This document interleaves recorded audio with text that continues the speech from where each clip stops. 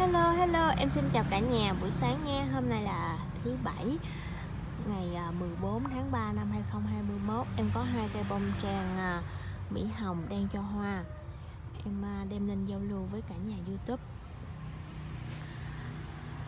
Đây là hai cây trang Mỹ Hồng đang cho hoa nha cả nhà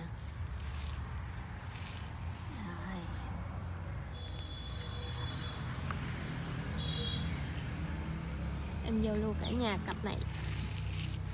Cả nhà yêu thích thì uh, inbox số điện thoại em để trên tiêu đề hoặc là để lại uh, comment ở dưới bình luận giúp em.